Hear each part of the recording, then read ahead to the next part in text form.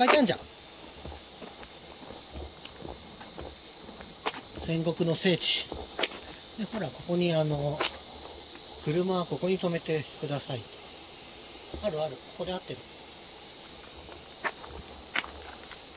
頭浅井長政お市の方。ははははは。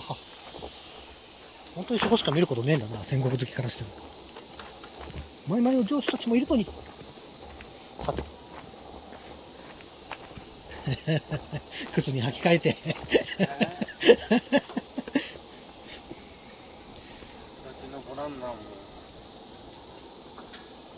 お城の弊害よね。本当になんていうの車で目の前まで行けるお城って数少ないから。まあこの山登りのは大半がカットになるんだろうな。登り始めて10秒でもう帰りたいってなってるもん今ああもう帰りてえなって。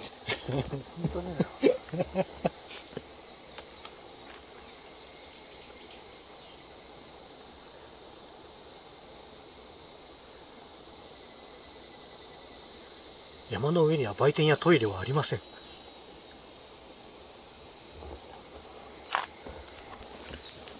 うわ本当に登山じゃん。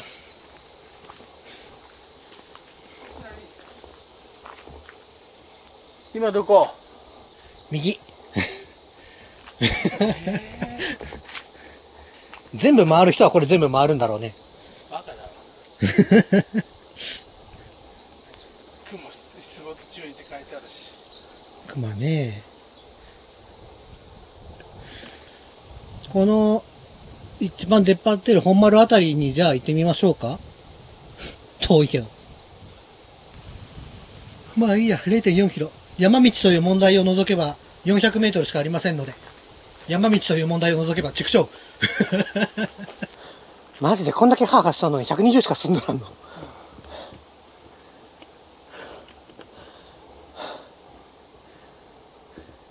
行ってこ俺は琵琶湖を眺めてるよ。ああ。ああ琵琶湖。ああ琵琶湖あなたついてこないと俺の俺だけ行ってもしょうがないのよ。俺がついていかないのは別になんていうのカメラ係おらんくなるだけで全然ええねんけど。そうだよもう疲れ切ってるから。さてで桜庭城前城前？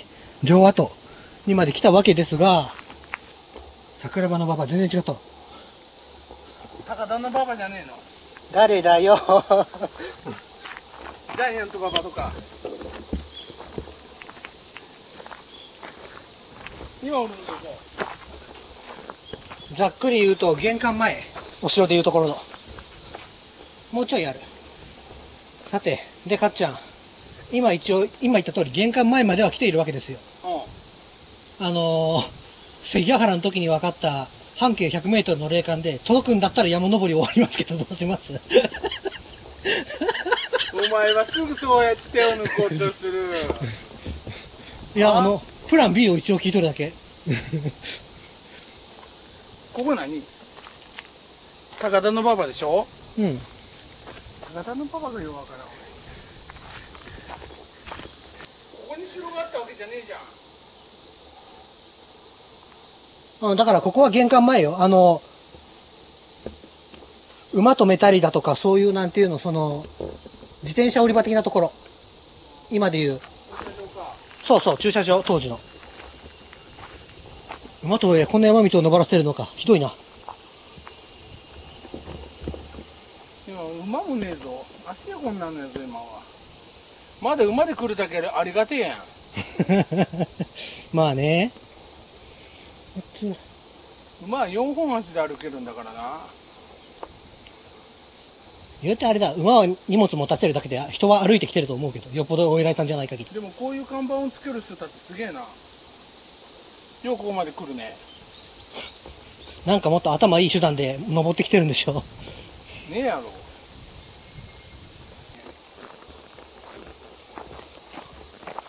大広間跡。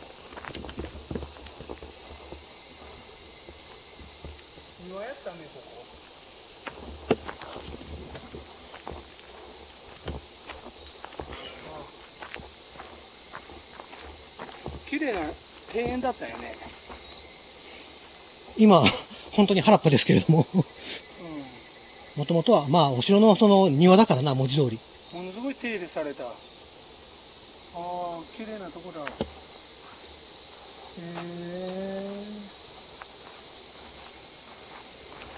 今は原っぱですが。えそう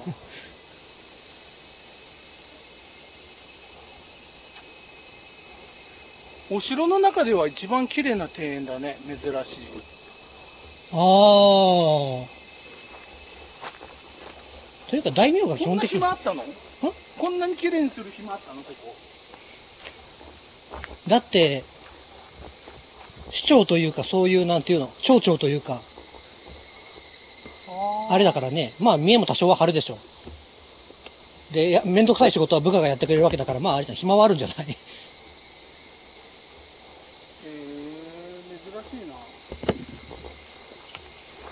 あと、その、一緒によくお仕事してた方々が、その、もともと由緒ある名家な方がお知り合いにいたせいで、そういうなんか、入り口から綺麗にしろっていうのを強要されてた感はある。なんか、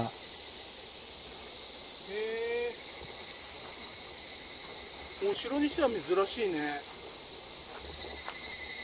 まあ、なんていうか、そんな大きなお城でもないし、山の上に建てた一軒家ぐらいなことを思ってもらえれば、超豪華だ。なんか今までさうん。金華山とかさはい。犬山城とかさ、うん江戸あのネタ名古屋城見てきたけどそんな綺麗な庭園なかったのにうんうんうん。なぜか知らんここだけすごい綺麗な庭園なんだえー、すごい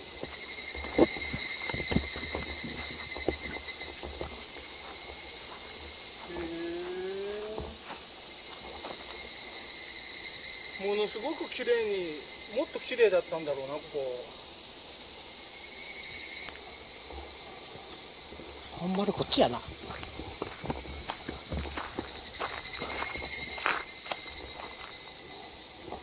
おいで。この上だろこの上。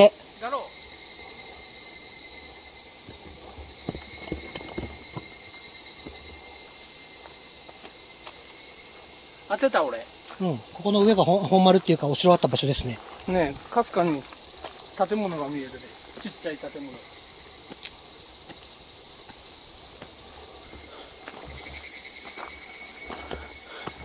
ここだあここだ。そこまあ、本丸だったって書いてあるからな。ああもううっとうしいなこいつ。ここ。ここは違う。ここは門みたいなとこだ。その段差が盛り上がってるっていうか、そういうところ、地面が盛り上がってるところ。ここにあるみたい。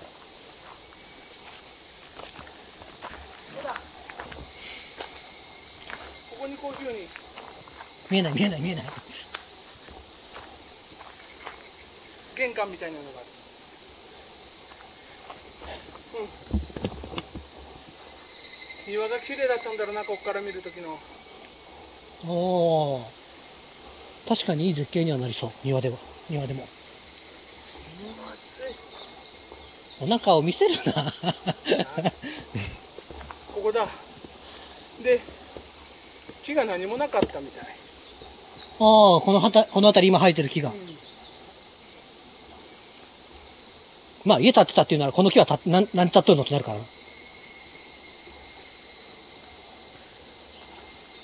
これがあれですよ。あの、あなたが多分姉川で見たであろう女性が、嫁いだ先。ここで3人の娘さん産んで育てたりして、兄やんがここの家と喧嘩してるもんだから滅ぼされて、実家に強制送還されて。そ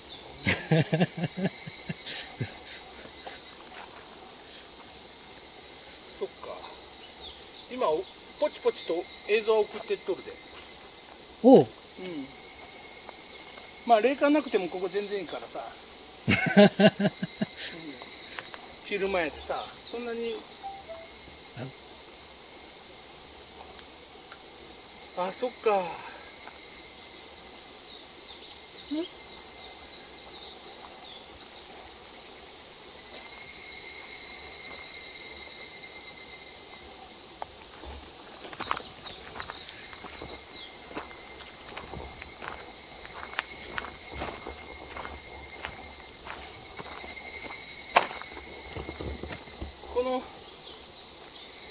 楽しそうにおる楽しそうにおるじゃん。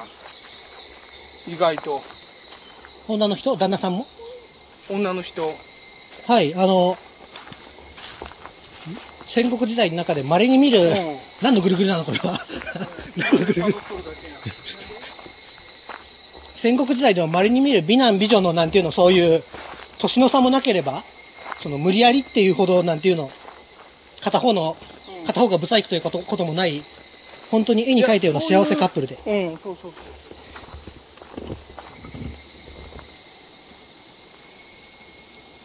う。だから多分楽しかったと思いますよ。おいしおいしいやったな。はいお市様。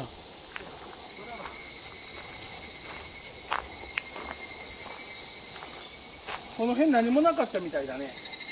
おおそこから。ああでも岐阜方面だな。実家方面だな そうなの？だって岐阜あーこっちからこう見たら岐阜でしょ？方向が。どっちも岐阜じゃねえの？あなことねえか？向こうも。こあっちもっとなんか滋賀の？なんていうの、うん。今でいう彦根がおる方だ方向だから。っち彦根おる方じゃない？もっとこっちか？ちょっとわからんどっちどうなんだろう？うんがっちり全然向いてる方が違うな。もうちょいこっちか。こっちだな。もうちょいこっちが岐阜だこっちはじゃああれか城下かな見れるのなんかそことはい。この辺だな。あこっちはがっつり岐阜だ。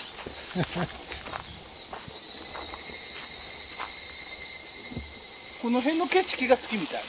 あそこと。ああ、うん。すごいなんか夫婦か夫婦やろ旦那さんとやろうなうんこの景色見てみたいなどんなに綺麗なのか旦那さんイケメン？見える？俺がイケメンなのかイケメンじゃないかわからんもん俺も。今でいうところのどんな感じ？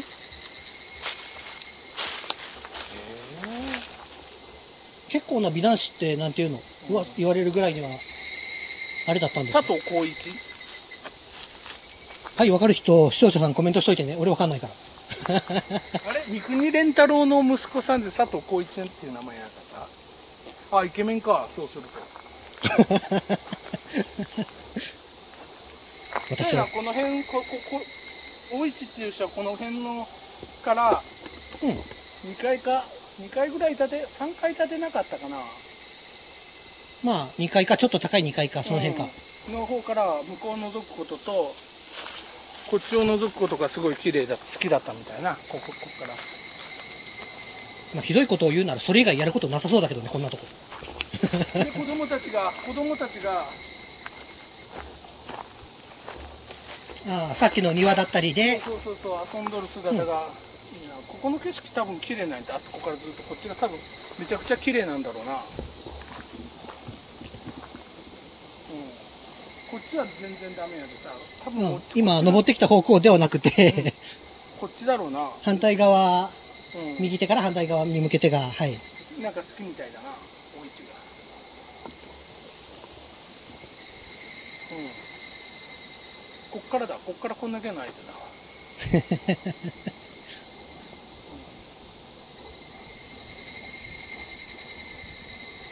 そのために木を切り落としたやつがいっぱいあるで。見えるで、うんうん、邪魔なものは。まあ。うん。あれだね。浅井さんならやりそうとしか思わんな。あそうなの？なんていうか本当に奥さんであるそのお市様のことを大事にしてたっていうエピソードいっぱいあるからうあのこう言うとあれだけどゲームとかアニメとかでいっぱい題材になるじゃないですか、ん、うん。必ずベタボレっていうぐらいにはなんていうのあの他の描写ないんですよ DV ヨットであるとかそういう描写一切ないからいろんな作品見ても。本当に奥さん大事にしてる方だからそういうなんか甘々に言うこと聞いてると思う。そうやな。こっちの辺は結構庭もめちゃめちゃ綺麗にしてるね。すごい。うんうんうん。でこっちはもうあんまり綺麗にはしてないんだけどこっちだけは見た感じ木がないんだってほぼ。下の方しか。もうもう見晴らしを良くする第一でそうそうそうそうそうここっち多分多分めちゃくちゃ良かったんだろうな。俺も見てみたいなと思うけど木が邪魔して。ああそうね。今はもうなんかうっそうと茂ってる感じで、景色しんどるけど。多分綺麗なのか何か知らんけどやたらこっちが好きみたいなこっから。この木。ちょうどこの二股になっとる木あたりか、うん。この中央に立った感じから、うん。後ろに看板があるところだ。本当はねお城にしてはここ珍しく穏やかなお城だね何にもないの、ほぼ。だってあの正直お城って軍事拠点だけどここに関して言えばうんあの戦争の地域になってないからあのメインの戦いが姉川っていうあっちでやったり姉とか。川やったもんな。とかあったりするからまあここは比較的穏やか。であのしさらに言うならそのお市様の旦那さんがここのお城の城主なわけですよその城主が亡くなった後ここ廃城よ。誰も使わなくなってるんですよ。軍事的価値がないということですよ。それはつまり。あのね犬山城とかはい。金あのぎ岐阜城とか、うん。登っ行くやん。はい。こんな穏やかなお城の跡地って初めてだもん俺。なんかこう和気あいあいっちゅうの？うんうん。なんか侍もなんちゅうの家来？家来。はい。もうお市も子供も誰だ親父。親父？だな旦那？うん、うん。こんなに穏やかに暮らしてるのはなんちゅうのお城初めて見て感じたの。はいえー、とここではあの4枚ぐらい4枚5枚送りましたプラス1枚でさ多分あの。あのグロくも何にもないです。本当に何にもないです。うんうん、うん。うんまあグロい描写ないからねここ。うん。俺もグロいと思って期待したんだけどさ。まさかお城でこんな綺麗な庭画を目に浮かばらしあの映像をもらえるなんて初めてですから。綺麗な花咲いて、まあその綺麗な花さなんていうの咲かせたりとうん、か娘さんたちが3人三三人の娘さんがキャッキャしとるとかラブラブな新婚生活以外見れない場所だなとは思ってるよ霊視しても、いや本当にここムイ君たち見えんからかわいそうなんやけどうん。俺俺惚れるなこっから見た庭が。ここのその緑の原っぱのあの辺りですよねちょうど、見えないのがかわいそう。本当に。間違っとったらごめんね。俺が見えるのはそれやで。わからん。視聴者も多分信じてくれると思うけど証明の必要ないから。いや証明できるはずやってこれ。俺が証明する。文句ある文句あるな詐欺師詐欺師でもいいで何でもいいわ。と言って言われて。もすげえわ。俺初めてこれが本当にお城なのっていう感覚。ああ、うん。それはそうね。なんか明治時代って感じの。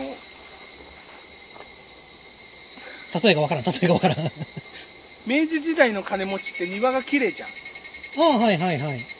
明治時代になるとハイカラな。あの要は戦争終わってなんかそのそううんそうそうそう。で金持ちが庭をきれいにするような。うんうんうんああの奥様方たちのなんていうのそのそうそうそうそうそうそう見えっぱりというかあれだ、うん、お茶会やったり。虫多いなここはい。お茶会やったり。うん。うん。なんか部下もこんなにニコニコしとるもんかな。太郎もここすげえお前が俺本当に臭いんかな。虫は汗の匂い好きっていうからしょうがないね。こんだけ汗だくになったらでそんな幸せな家臣すらもニコニコになるようなこの新婚生活をぶっ壊したのがお市様のお兄さんである織田信長です。臭やな。それがあの旦那が裏切ったっていうまあ旦那の方から実際裏切ってんだけど、うん。だからといって旦那ぶっ殺してお市さんを家に引き戻したっていうそのあれだ。そりゃ泣きもしますよ。そうやな。いや俺は橋しか見てねえからさここはすげえ穏やかなお城の跡地にしては穏やかすぎる。怖いぐらい。本当にこ俺お城に来とるのって感覚。まあ確かに。でよやだ俺もうこのプンプンプンプン耳元でさ はい。ではまあこんな感じで映像も565枚ぐらい送ったのですよね、さあ何枚がどんなのが見れるか。ムイ君の歴史の中で俺が言っとることが間違っとるのはちゃんと言ってよ。いや別に。俺間違う。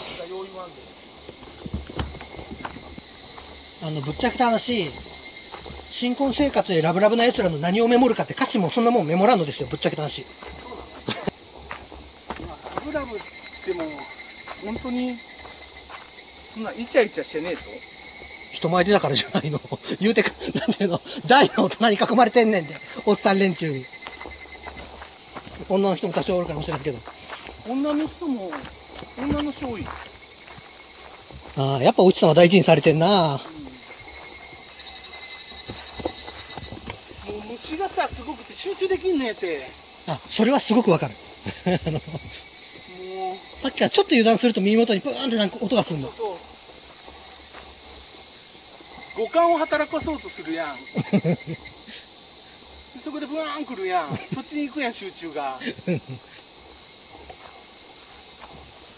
でかっちゃん一応あの最後に1個だけじゃああの動画終わる前に聞いておきたいんですけれど、うん。あの例にも漏れずねあのまあ有名な武将のいた場所ですよ。あのれ心霊スポットにもなっておりましてその落ち武者の霊が出るだとかなんだとかっていうのもありますけれど。出ねえよ だよね。これで出てたら怖えぞここ。あのそもそもなんていうの？ここでなんていうの？落ち武者になれるほどの戦いはないよって思うんだけど俺も。そのねえよ。ここは心霊スポットその落ち武者関係なく心霊スポット足りえますか？い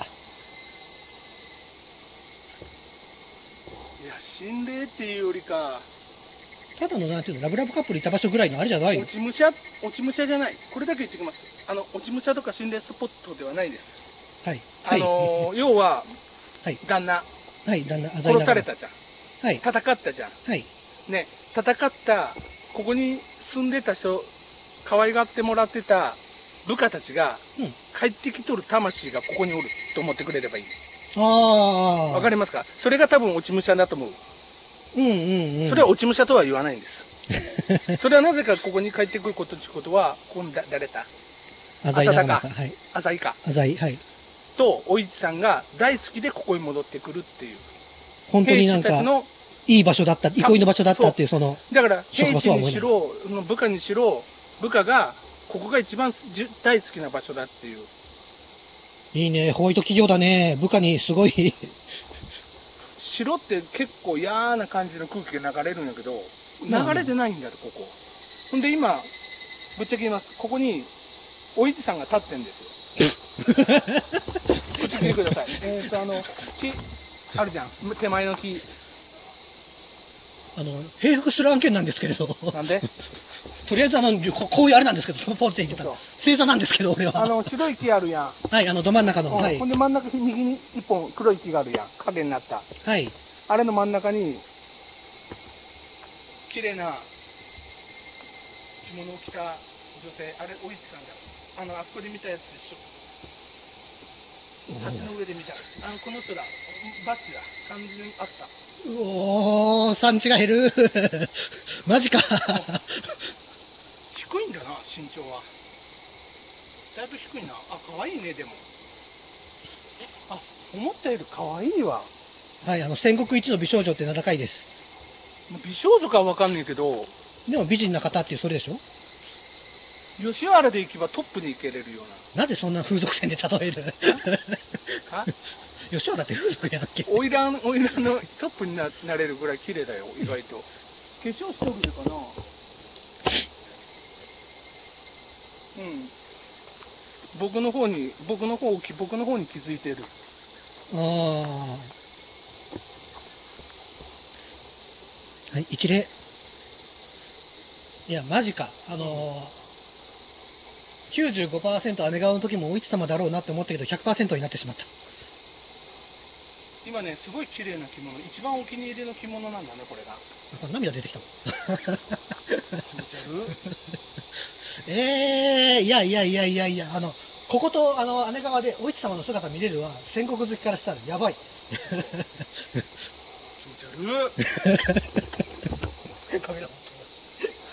マジ泣いとる。キモー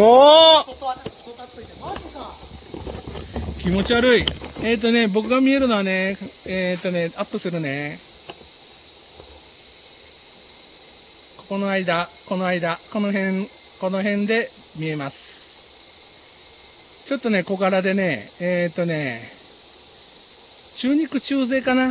うん。ここの辺あたりで、えー、と僕の映像の頭の中では見えてますね。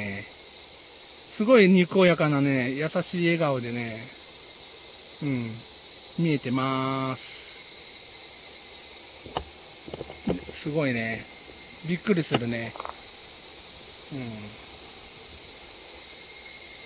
ん。これね、映像には絶対映らない。僕しか見えないだろうね。僕しか見えないと思います。うん。すげえな。花柄が好きなんだな、意外と。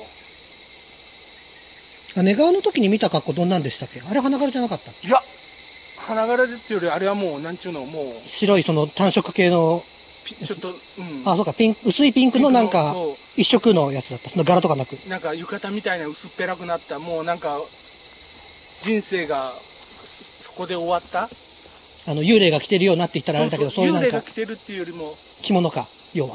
まあ、まあ、死人に着せさせるような。はいはいはい。だからここでパッと今、俺ら、俺ちょっと上げたら、離れたら、現れてくれたよ。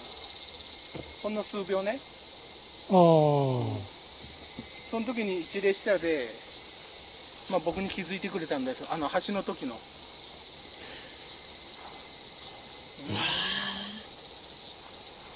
すげえな。こんな穏やかなお城は初めてですよ。ここも綺麗だったんだろうな。なんでこんな風になっちゃったんだろう。なんだろうな。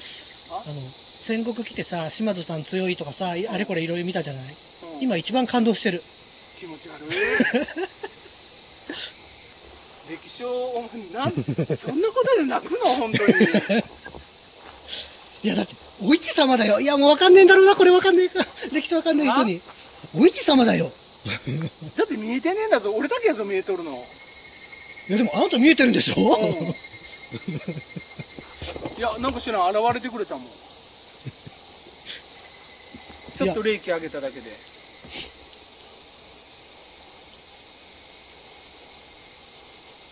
いや、一番感動してる。一番感動してる。すげえ、これこんなん感動するの？変なやつ、キモお前。マジキモいや、わかるって俺の気持ち視聴者も。絶対これはわかる。マジキモでも、そうやって考えるとすげえな。そうすると、子供可愛いんだぞ。はい、あの、美人三姉妹で、あの、この間、あの、み道の駅に銅像あるよ、見る？持ってるよ、俺。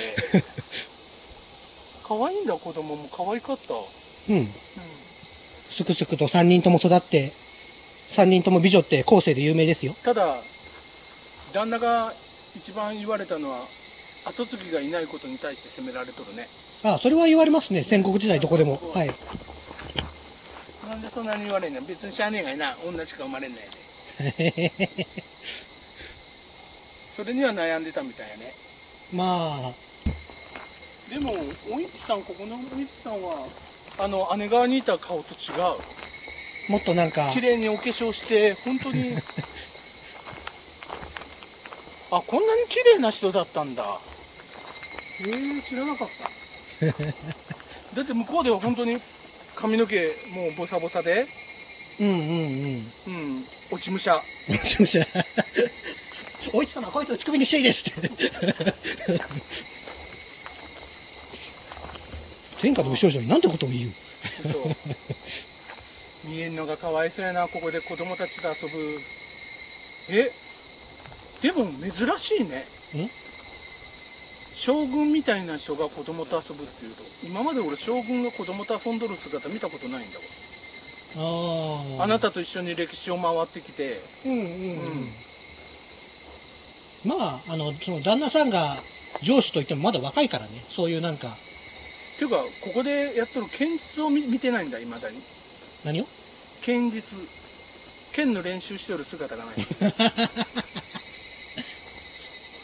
どこにあるんだろうねそれはあれじゃない？もっとなんかあのぐるーっと行った先じゃない？見えるのがかわいそうだな。ここ？は見見見た方がいいべし。見た方が、ま、万が一運良ければ多分その姿姿が見えるはずだと思う俺は。どうなんだろうな。見たいな。天下のウイチ様だ出たのは本当に6秒以内以内だで本当に運がいいな。こうやってふーったこうやって。あ一礼している間だけみたいな。で消えたって感覚やで。その時にふっとニコって笑ったで。俺らに。あれやな。振る舞いがもうなんか一国の上司の妻で姫だわ。俺は大事なお客さん。ぬわぬわ。そういうのから間引かれてくんやで。そのサイドから間引かれてくんやで。だけどムイ君キモいこんなにキモいと思わんだろ 俺もさ心霊で泣泣くのはさ憑依して悲しみで泣くけどお前違うんだぞ。いや絶対わかるこれ視聴者にもわかる人おる。絶対視聴者さん分かるわけねえっつうの。いやあのあなたと心霊スポットでないよその戦国スポットいっかいっぱい回って一番感動してる今俺。あ俺も感動したぞ。いや俺こんなに大明かしとして庭が綺麗でこんな平和なお城があるんだなっていう侍さんの中で偉いさんの中で、うんうんうん。うん、今まではさ落ち着かない人たちが多いんや。まあそういう場所を選んでるっていうのもあるけどまあそういうねその通常時よりは非戦あの戦闘戦闘中のイメージの強い場所をいっぱい行ってるから。あそういうことですか多分こっからやでちょっと待って今ちょっとしゃがんだこれぐらいの景色が見えるって感じじゃないんですこっちあたり。このこのこのあたり。かこの町よりかは山の方。こもうこっち側だな。っち側か。これどこになるんや？ピッキリの好きな場所らしいで。あ一番が岐阜だ。いやこっちだ。岐阜と滋賀の県境にある伊吹山。はい伊吹山だこの辺りをお市がやいつもよく見てる場所。あそあの辺りと。この辺り。このうん。伊吹山とこの山の山と町の間ぐらいのところか。はいはいはい。が好きだったみたいだね。まあ今とは若干風景も変わってるからあれなんだろうけど、まあ。故郷かな。そう故ね郷って言うともうちょっとこっちになるような気がする。あこっちかな。この辺あたりやねえかなだからさ言っとるやん。再婚したんだよな。再婚した。だけどその時は福井だったやん。福井。で俺らも福井行ったじゃん。はい。その時はこんな顔してないもん。うんうんうん。わかる？再婚の時は本当に小田家っていうその家を守るための再婚だったから、うん。こんなね俺ねだから福井先行っちゃったじゃん。はい。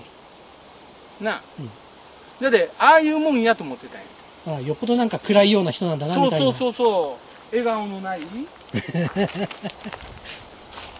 思い詰めたいつもつ常にまあマンアニメで言うと、ユリアみたいなもん、ああ常に憂いてらっしゃるな。北斗の拳ね。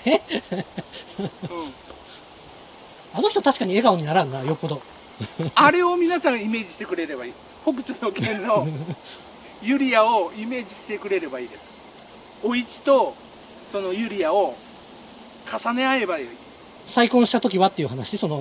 要するにケンシロウとユリアがおった時の笑顔とシンとシンとかラオウとかにさらわれてる時の。さシンシンの時う。んにおるユリアの違いだと思えば分かります、はいそういうイ皆メージで皆さん。それが一番分かりやすいと思うわ。北斗の剣を勉強しましょうって。